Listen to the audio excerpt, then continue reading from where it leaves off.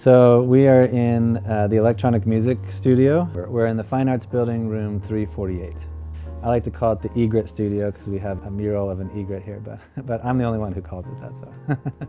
Before maybe a year ago, it was cluttered with old tech and we had kind of a limited space and limited capabilities with what we could do. Sabey really spruced it up. So in its renovated state, it's brand new. Moog is, uh, you know, kind of the iconic name in, in, synthesizers. So we were great, we were lucky to have a Sub 37 in here. This guy here is a, is a Eurorack uh, these are, uh, it's a modular synthesis uh, synthesizer with lots of different modules you can swap out and it makes all kinds of weird sounds. I really like the speakers. There are very limited spaces within the school where there is actual surround sound and electronic software to write music in surround sound.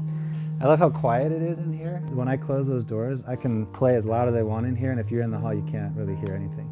Students from any background are welcome here. DJ, EDM production, that sort of thing, but a lot of students are also interested in writing scoring for video games and scoring for film. And so um, I'm working really hard to bring those kinds of programs here. What do I value most about my teachers and their teaching style? They seem to really care about music and what they do. I think it will be a magnet for students who want to have a high quality studio space with good acoustic treatments and really great monitors and it's a room where we have the resources to really experiment with electronic music and to make new noises and make new music. It's just a great resource for exploration and creativity.